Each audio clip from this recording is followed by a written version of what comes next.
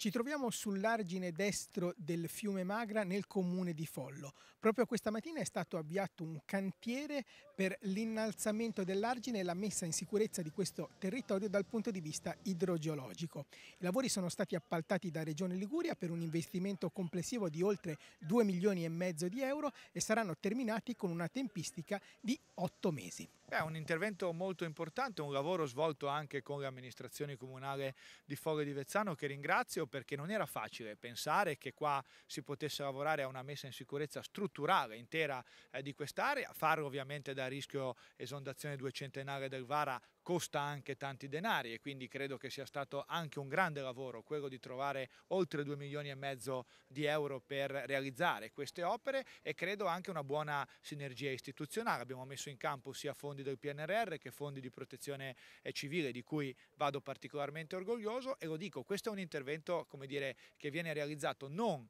per rispondere a un'emergenza, ma invece per rispondere a una criticità strutturale di tanti anni di questo territorio. Un intervento atteso da tempo per una zona che può diventare importante dal punto di vista produttivo e commerciale e che è anche importante dal punto di vista sportivo. Qui vicino si allena lo Spezia Calcio. Assolutamente sì, ed è importante perché lo Spezia, essendosi aggiudicato questo bando, ha dei progetti importanti su Follo la costruzione di un nuovo campo a 11 e questo vuol dire per noi portare gente a Follo in sicurezza e quindi oggi è una giornata molto importante sia per quello che riguarda le attività sportive e poi naturalmente per la sicurezza che in questo modo diamo ai miei cittadini. Il suo sogno è quello di realizzare qui un complesso scolastico? Sì. Io quando sono arrivato ho pensato a sì la manutenzione ordinaria, ma anche a qualche progetto importante necessario al Comune di Follo.